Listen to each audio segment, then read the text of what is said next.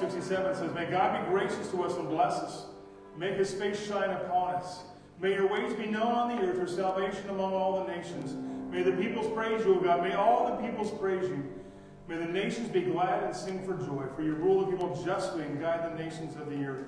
May the peoples praise you, O God. May all the peoples praise you.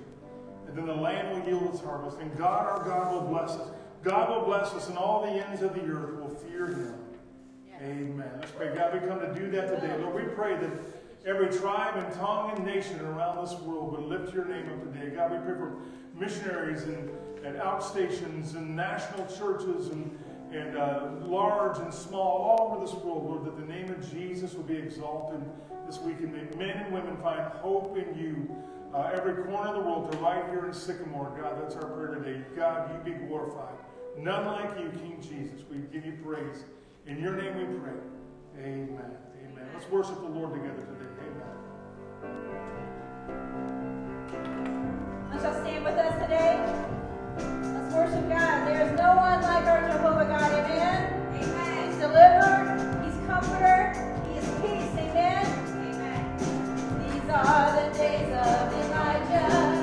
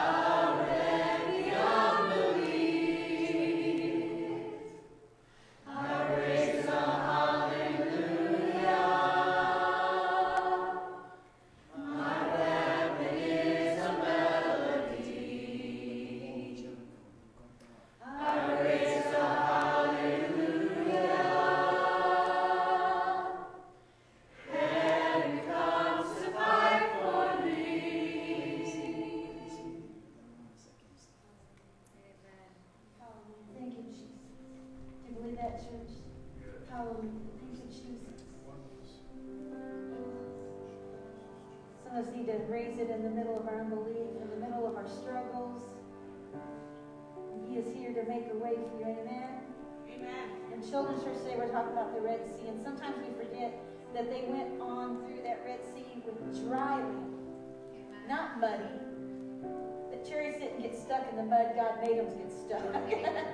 in dry land. And that is his, that's our God. He makes a way and he does it well. He does a way. If you need a, a way maker today, and wherever you're struggling with, I don't know if it's sickness or provision, right where you are, just lift your hands right now. God will make a way. Do you believe that right now? In Jesus' name, we agree together all over this auditorium, Lord, all over this place. You will make a way. Every hand that is raised, God, you are working on their behalf. Hallelujah. We thank you, Jesus. Thank you, Jesus. You are here.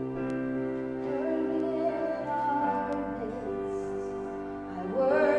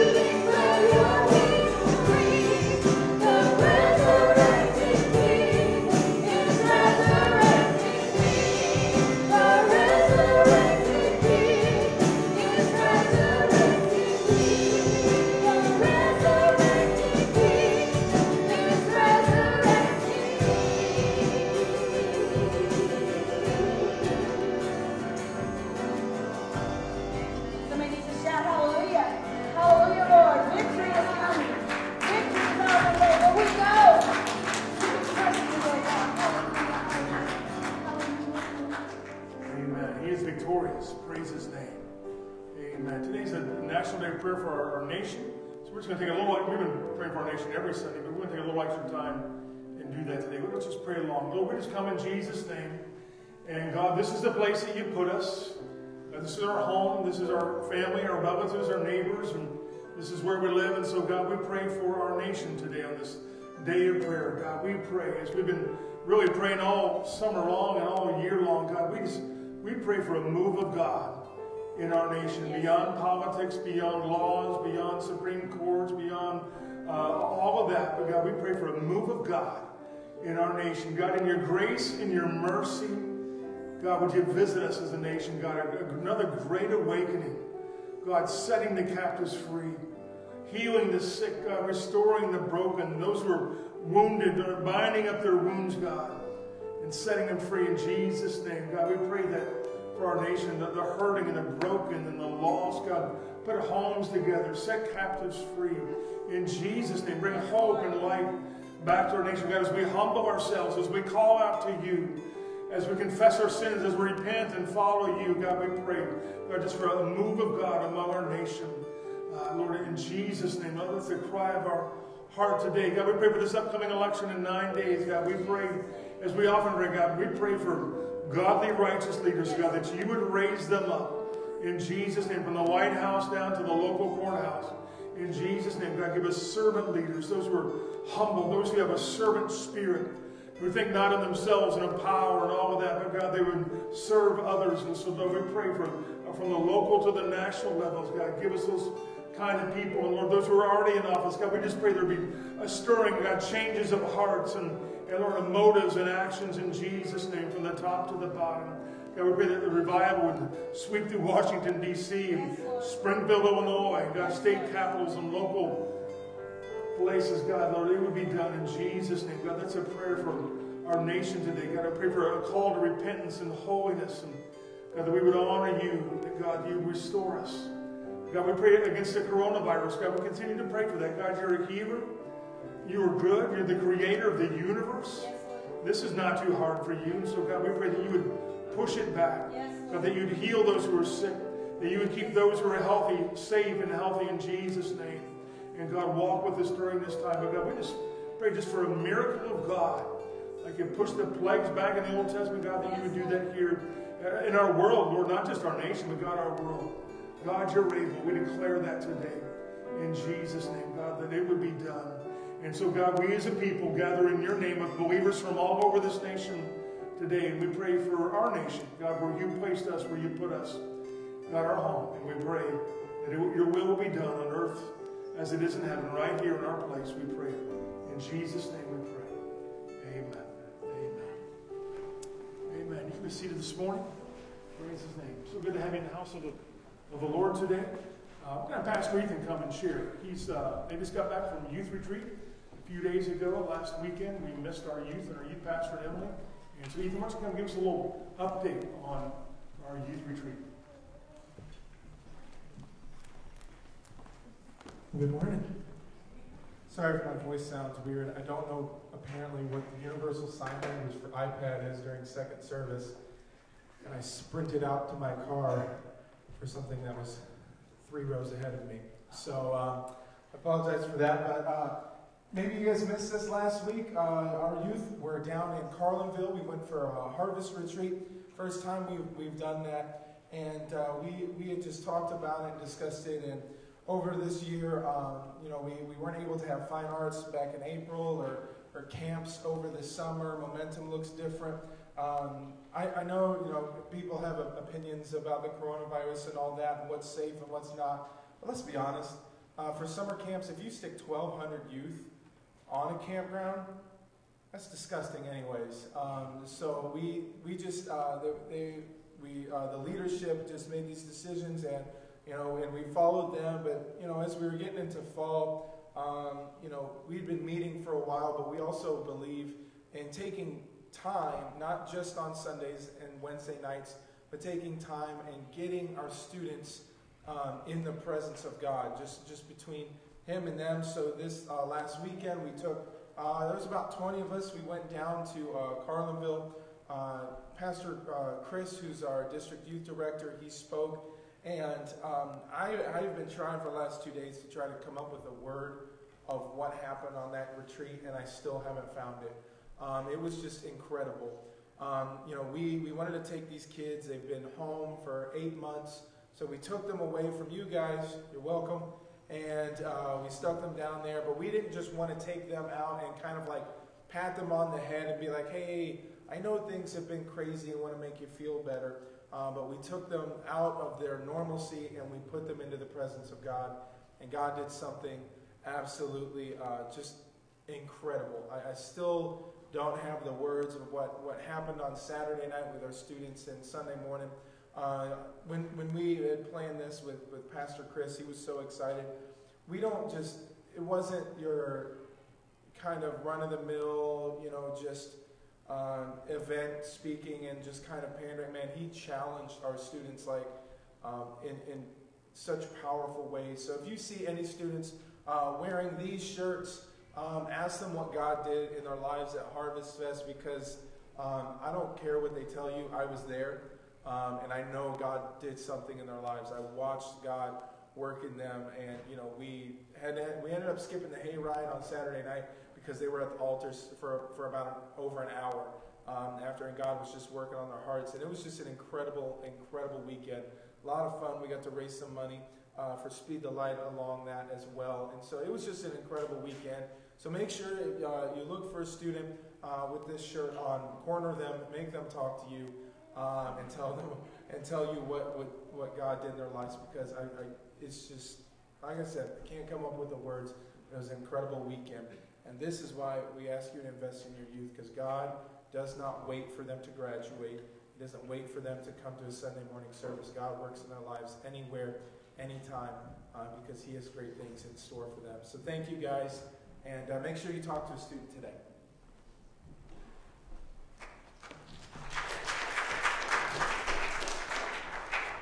Thanks, Pastor Ethan, Emily, and the team who pull all of that off.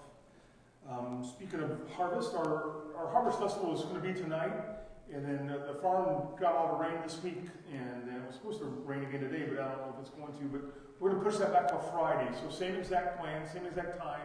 Everything is exactly the same, but instead of tonight, we're going to do it Friday night, so just kind of mark that, make sure that you're aware of that. So the youth are going to do something out at the barn tonight, uh, 6 to 7.30, so they have, we made them switch gears a little bit too, so just make sure uh, you're aware of all that. Uh, We Care Pregnancy Center is right in our backyard, and our great ministry around here. We support that monthly. They're big, uh, they usually do a two-night banquet over at E3 every year, and with everything going on, they can't do that. So they're doing a virtual banquet this year, you drive through and get your phase barbecue dinner, and you take it home and you watch it online. And so uh, we want to invite you to that. Beth Harvick is, uh, is I think, around somewhere, or was or Ron is here. Ron will stand in for Beth today. Uh, he can answer all your questions. But if you're interested in being a part of that, uh, so you have a nice dinner at home, you can watch it and participate. That's our big fundraiser every year. So that's coming up November 6th. So it's still a couple weeks away, so you get time to plan. But I just want to give you a little heads up uh, on that. And then don't forget to set your clocks uh, back this coming uh, Saturday night. So uh, you'll be rested and fresh and on time for the 11 o'clock service next week. So uh, that's, that's good news. Hey, take out your Bibles, John 14. Turn there if you would today, John 14.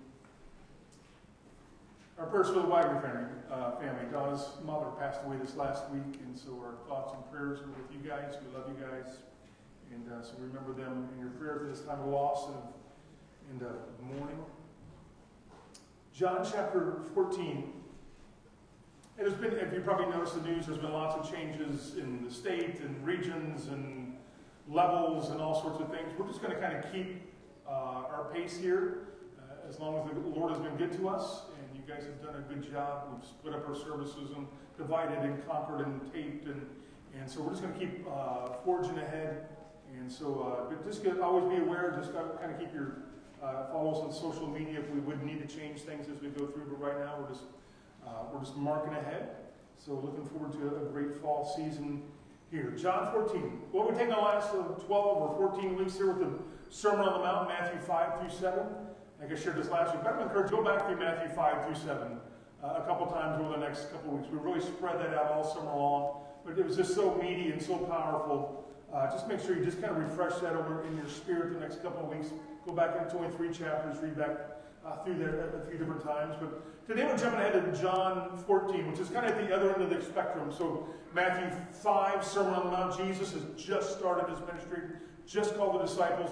John 14, it's the Passion Week, and the cross is hours away from him. So we're kind of switching gears here to the uh, other uh, side of that, I guess you could say, of his ministry.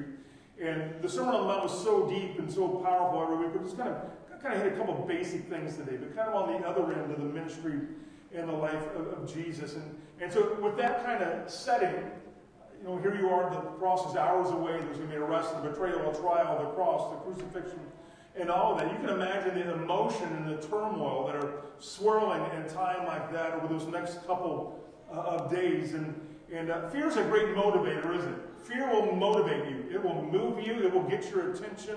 Uh, our election day is just nine days away, so pray, vote, pray. Encourage you to do that. Educate yourself beyond all the sound bites and, and pray, vote your values and what's going to move us in the right, nudge us in, hopefully in a, in a good direction that you would desire. But, um, but fear is a motivator. If you've had any contact with the outside world for the last eight, nine months here, uh, you know that fear has motivated people. Um, if you vote for my opponent, you will die. That's a motivator, isn't it? So we go to extremes. We try to scare people to voting for me or uh, uh, uh, picking up my side, and they're corrupt and they're criminal, and you're going to die, and they don't care about you. And we get to all these extremes because fear motivates people. It gets your attention and, and causes you to, to do things. And so fear and turmoil and unrest, politicians, COVID, restrictions, the economy, all these, all these turmoil have, have stirred up a lot of things, and a lot of people are on high alert these days, and fear drives a lot of that. But Jesus. But Jesus. And so we're going to talk about the, the but Jesus part today, the, the hope side of that. So, so Jesus was looking to bring his disciples some hope in John 14, and we want to do the same thing here with the timeless words of Jesus. Let's read that, John 14, starting in verse number 1. He said, Do not let your hearts be troubled. Trust in God. Trust also in me. In my Father's house are many rooms. If it were not so, I would have told you. I'm going there to prepare a place for you. And if I go and prepare a place for you, I will come back and take you to be with me, that you may also be where I am. You know the way to the place where I'm going. Well, Thomas said to him, Lord, we don't know where you're going, so how can we know the way? And Jesus answered, I am the way, the truth, and the life. No one comes to the Father except through me.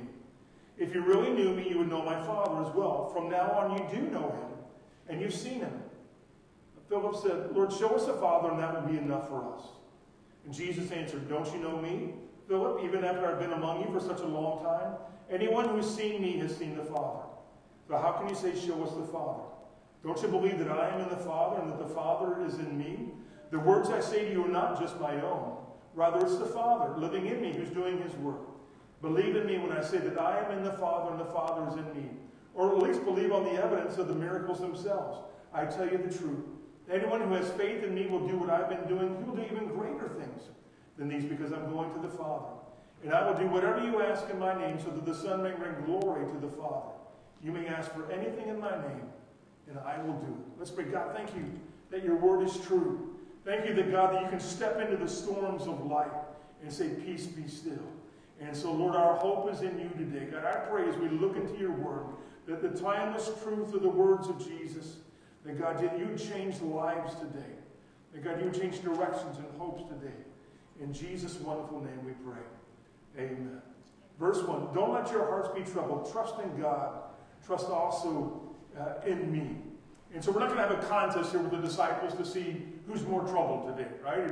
You know, is 2020 worse than the Passion Week? You know, so we're not going to try to we're not going to uh, go to competition with them today. But the, the message of Jesus' hope in and of itself is, is timeless. And so Jesus, you know, once again, think about Jesus has called the 12 disciples, had left everything to follow him. Uh, now, now, they've given the last three years of their life. And imagine the things they've seen in those three years. I mean, you have seen miracles. You've seen him take loaves and fish and feed 5,000, 10,000 uh, people. You've seen him walk on the water. You've seen him calm the storms. You've seen him cast out demons, uh, even raise the dead. You've seen this with your own eyes. And so it's been an incredible, incredible three years. Open the eyes of the blind. Miracles are happening. And uh, all these things are incredible. In fact, if anything, it seems like probably the momentum's on your side. Just not long ago, he brought Lazarus out of the tomb, who's been dead for days, and now he's alive again. And all of Jerusalem has been talking about this. Everybody's talking about Lazarus. Did you hear the story? Did you hear the story about Lazarus? And then they have this incredible processional into Jerusalem on that Palm Sunday, and they're, they're shouting Hosanna, and they're laying the palm branches down, and they're laying their cloaks on the road as he rides in on a donkey, goes and he clears the temple. And so, uh, if anything, man, they got momentum on their side. We talk about this often at Easter, don't we? But then all of a sudden, the last couple days have been a little strange. Because Jesus has started to talk about his death started talking about, you know, the, the disciples, one would betray him, and how Simon Peter is going to deny him three times before the morning. And he's talking about he's going to a place and that they can't go. And, and once again, the disciples, they can't quite process all this. They, they can't quite figure all this out. But these next couple of days are going to turn everything, it's going to rock their world.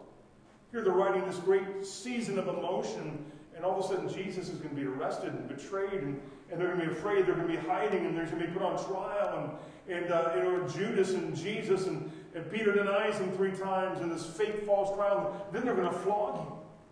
They're going to punch him and spit on him and they're going to mock him and put the crown of thorns on. And then there's going to be this brutal, horrendous crucifixion and they're going to lay his dead, lifeless body in a borrowed tomb. And you can imagine fear and chaos and the unknown and what just happened and what's going on here. And yet Jesus knows all that. It's just hours away. And so here's what he has to say to them. He says, Don't let your hearts be troubled. Trust in God. Trust also in me. Don't let your hearts be troubled. Trust in God. Trust also uh, in me. Now, now, think back some of those miracles that Jesus had done, that they'd seen these miracles. In fact, there was one time they were uh, they were in a boat and they were crossing the sea, right? And then all of a sudden this big storm blows up. And a lot of these disciples are fishermen, so they're boats and storms. This is kind of normal life for them. But, but this one's so bad, even they think they're going to die. And so Jesus is asleep and, and they're all struggling. They all think they're going to die. And finally they wake up Jesus. Don't you care that we're all going to die? You know, fear, worry that this is consuming them. And once again, it's real. It's a real storm, real waves, you know, real drowning. All these things are, are possibilities that day. But here's what it says in Mark 4.39. It says, Jesus got up, rebuked the wind, and said to the waves, Quiet, be still. Peace, be still. And the wind died down and was completely calm. I don't know, don't you love miracles like that? You know, and whatever your life is, oh, there's a storm brewing, and then there's waves crashing. We could die, and all these other things, and you call out to Jesus, and it's just gone.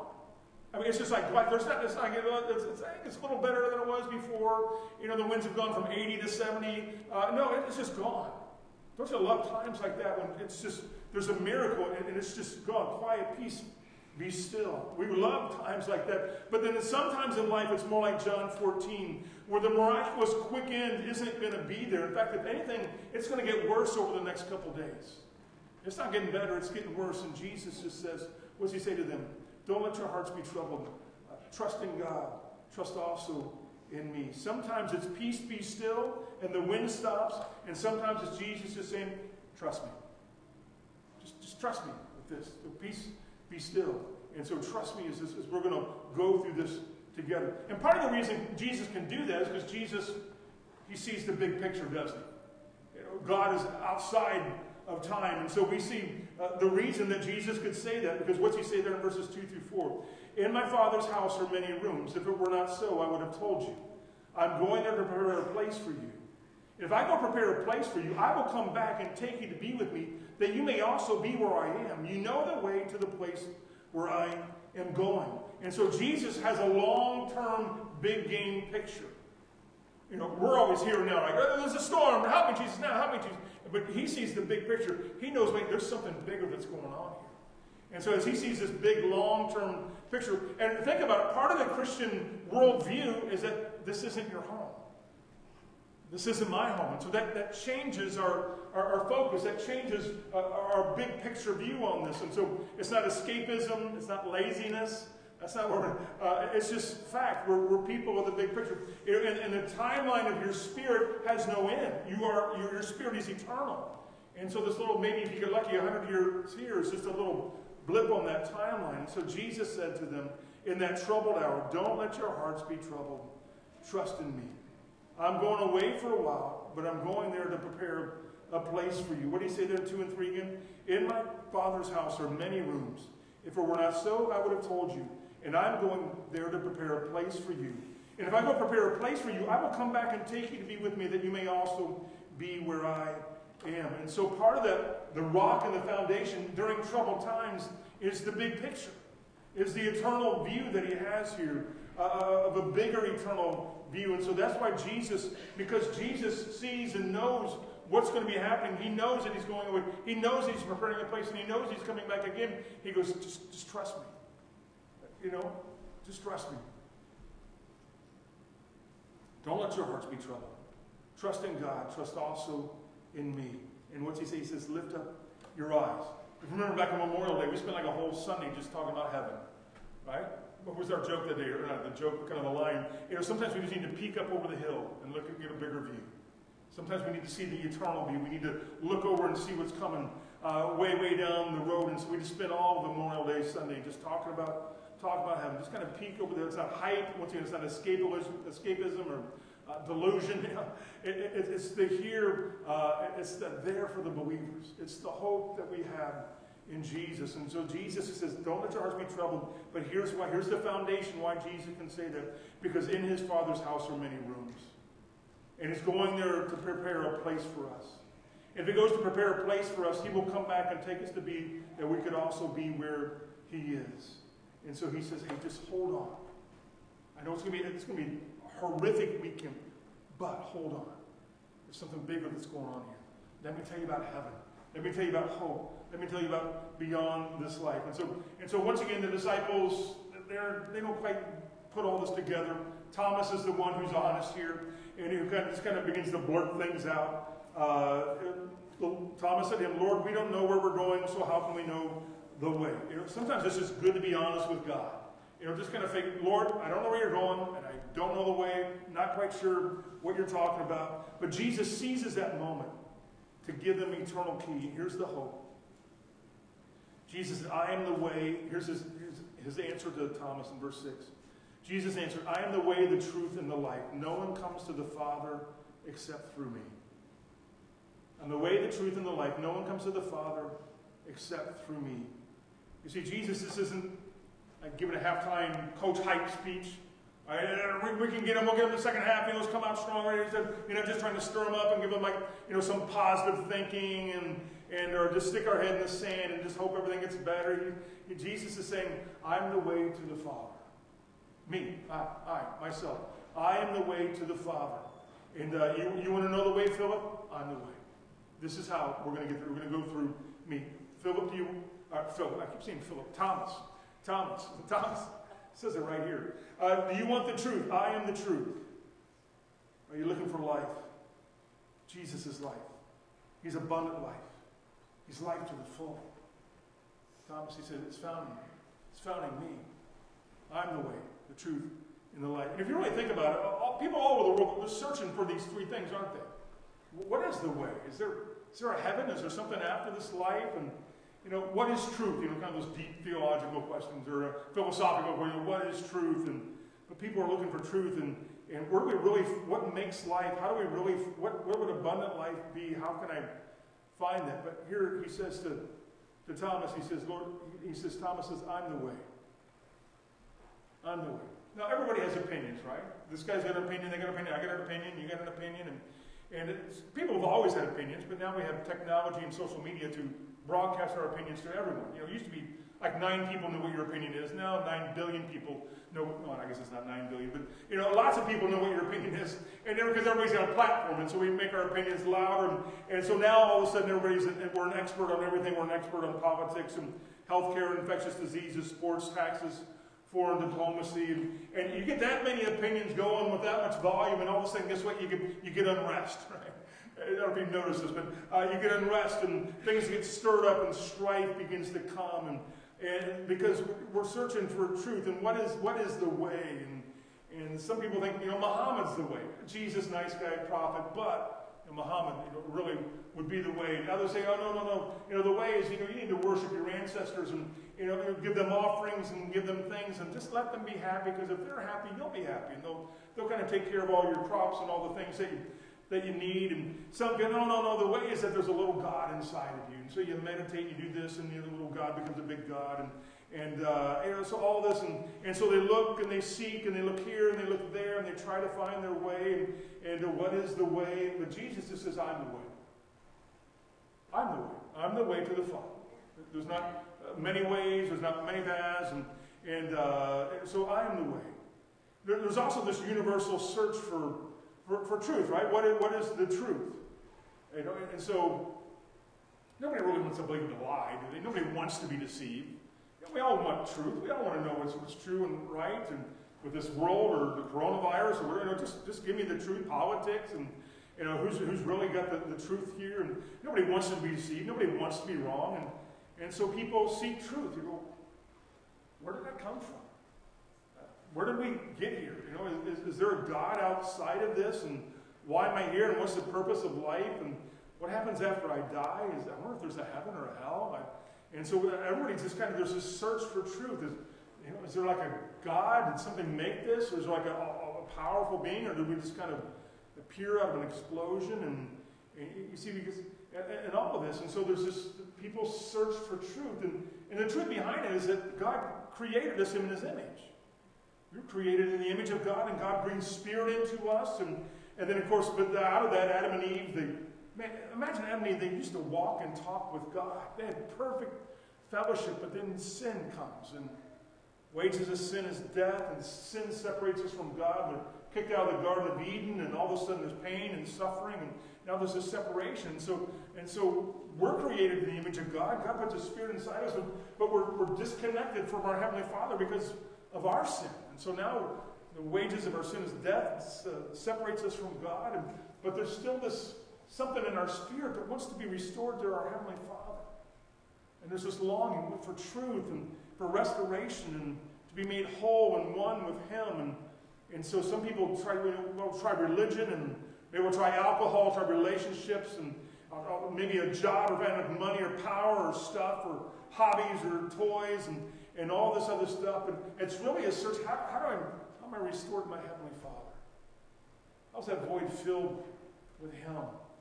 the restoration as a son or a daughter of God, that relationship that we've been looking for. And so Jesus said, I'm the way, I'm the truth, and I'm the life. We've all sinned and fallen short of the glory of God. The wages of our sin is death. And, and so, in a sense, we're all separated from God on, on a death march. But then Jesus said, Hey, I'm the way, the truth, and the life. I'm going away to the Father. And, and one day I'm going to come back for you. I'm the way, the truth, and the light. Now, there's a little three letter word there. He uses three times in that little sentence. It's the word the, very plain word, not very fancy. We use it all the time, you know, the, the, and so we, but it's important, it's so important in this verse because Jesus said, I am the way, and I am the truth, and I am the life.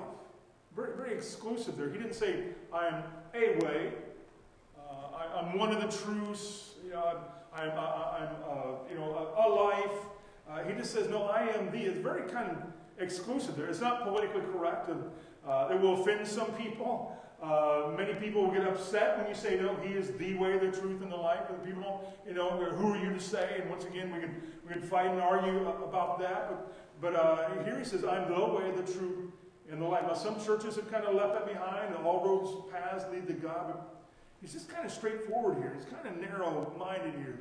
No one comes to the Father except through me. No one comes to the Father. That's pretty straightforward. No one comes to the Father except through me. Why? He's the way, the truth, and the life. The way, the truth, and the life. I don't see many other options there. I don't see many out clauses or plan Bs, or unless you feel some other way, if you really, really mean it. Or, and so we have people who are on a, on a search for wholeness. what is the meaning of life? What is truth? What is the way? What is, what is life? What would that even look like? And and, but the truth is that we, we can't do it by ourselves because it's completed in Jesus. Jesus is the way, the truth, and the life. No one comes to the Father except through him. We don't have time to read it all today, but you go to chapter 18, Jesus is going to be arrested. You go to chapter 19, and he's going to be crucified, he's going to die, and he's going to be buried in a tomb. You go into chapter 20 of Luke, or excuse me, of John, and three days later he's going to rise from the grave victorious. Victorious over death, hell, and the grave. And he wins the victory. And so we have a hope beyond this life. And so we have a, a, substitute, a sacrifice uh, to take away my. He's the Son of God. He was the one born of a virgin. We're going to celebrate that in a couple months here. You know, uh, for 30 years he lived a perfect, sinless life. He dies and he rises again. And so that's why Jesus is able to say here, I am the way, the truth, and the life. No one comes to the Father except through me. And so he's going, disciples, I have hope for you. To be a long, difficult weekend. And it's not even going to stop there. It's going to, get, it's going to be difficulty after that. But guess what? I'm your hope. And so, so how is our hope today? So how's our hope today? Is your hope in your good works? I'm a good guy, help out a volunteer, give some money in the offering today, I'm here at the 11 o'clock service. And, you know, is your hope in good work? I've done some good things. Uh, you know, I pet dogs and I, I, I've given the Salvation Army kettle. Or, uh, is your hope in your work? Hey man, I'm still working. I know it's been a difficult year for a lot of people. Bless God, I'm a hard worker. I, I'm still providing. Uh, is your hope based on the outcome of the election next week? You know, is, it, is that your hope? Or would it either be the greatest day ever or the worst day ever? And is your hope in your military that they're going to protect us? Uh, is your hope in, you know, we can put our hope in a lot of stuff. But here's what Jesus said Don't let your hearts be troubled. Trust in God, trust also in me. In my Father's house are many rooms. If it were not so, I would have told you, I'm going there to prepare a place for you. And if I go prepare a place for you, I will come back and take you to be with me, that you may also be where I am. If you think about John 14 here, it's really kind of two sermons in one, isn't it? Kind of the second one and then kind of the first one really comes after that, although we did them in the verse order here. Because if you don't have part two, guess what? You don't get part one. If you don't have the hope of Jesus, you don't get the hope of eternity. And so that's really a couple sermons here. And so, so really, uh, part one is really the, the, second part we read there, where Jesus said, I am the way, the truth, and the life. No one comes to the Father except through me. Part one is, have you found your way? Have you found the truth? And have you found life? Have you found the way? Have you found the truth? And have you found the life? Because all of that is found in Jesus. Because He's the way, He's the truth, and He's the life. And so, have you found that? Have you found your way? Have you found your truth? Have you found your life? Jesus here literally is hours away from going to the cross where He will say, It is finished. I've lived the life. He's lived a sinless, perfect life. He's the Son of God, born of a virgin. He, oh, he did miracles. He taught all those wonderful things. But there's got to be, there has to be a sacrifice for my sin. There had to be a sacrifice for your sin. And so the wages of sin was that he was going to become sin for us so that in him we could be clothed in his righteousness. And how do we do that?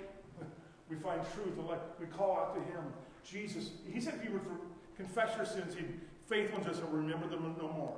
He'll, he'll, take them away. He'll wash you white as wool. All you know, just cleanse in the blood of Jesus, on the, the Christ, the, the price that he paid on that cross. We find that in Jesus. We confess our sins. We repent. We're not going to go that way anymore. We're going a holy way. We're going to follow you. We're, we're going to be your disciple. You can have everything. I confess you as my Lord and Savior. So we come to Jesus. You can do that this morning. If you've never done that, today can be the day of your salvation. You can find the way, the hope, the truth, and the life today in Jesus. We're going to do that here just in a moment. You can call out, call out to Him.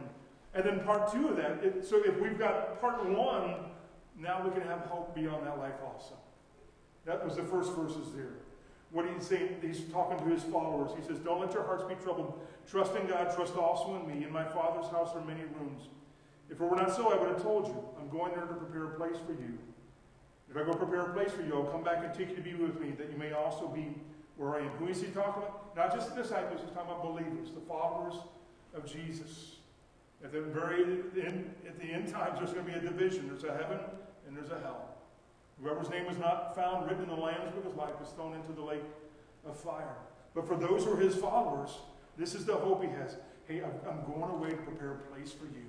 And one day I'll take, I'll come and get you, and you can spend eternity with me. That's the hope that he's talking about here. And so if you get the hope of number one, the way, the truth, and the light, we are going to have the hope of the others. The disciples are getting ready to enter into the most difficult storm of their life. The tide is going to turn. There's going to be fear. There's going to be mob rule. There's going to be hiding behind locked doors. They're going to be hiding in the shadows. Peter's even going to deny that he even knows Jesus three different times. Uh, but Jesus, in the middle of all that, just says, hey, trust me. Trust me. If Jesus is your hope for eternity, he can be your hope for this week. If you trust him forever, you can trust him for Tuesday. Right? And, and so that's the, that's the good thing about this, this hope and this trust part, is that it's not just one or the other. It's not like he's, just going to get you through this storm. No, this is eternal and this is the here and now both. And so it's eternal and, and the here and now all rolled together. And that's why he says, don't let your hearts be troubled. Trust in me. Trust in me. Let me read a few verses to you. Luke 12, 7. Indeed, the very hairs of your head are numbered. Do not be afraid. Indeed, the very hairs of your head are numbered. Do not be afraid. What's he saying to them? If I know the hairs on your head, I can take care of that. If he's, if he's so in love with us and so uh, all powerful and all knowing that he knows the hairs on your head, don't be afraid. Philippians 4 7. And the peace of God, which transcends all understanding, will guard your hearts and your minds in Christ Jesus. And the peace of God, which transcends all understanding, will guard your hearts and your minds in Christ Jesus. When it doesn't make sense, God can bring you peace. 2 Thessalonians 3.16 Now may the Lord of peace himself give you peace at all times and in every way. The Lord be with you all. How's this for a kind of a conclusion there? All encompassing. Now may the Lord of peace himself give you peace at all times and in every way. The Lord be with you all. That's pretty all encompassing. The God of peace, the God of hope. Don't be afraid. Don't, be, don't let your hearts be troubled. Trust in God, trust also in me. I'm the way, the truth, and the life. No one comes to the Father except through me. Musicians, come if you guys would this morning. Like I said, we're just kind of keeping it a little super basic today after wading our way through the Sermon on the Mount, but just two simple, simple sermons today. He's the way, the truth, and the life. No one comes to the Father except through him. If you have that hope, don't be afraid.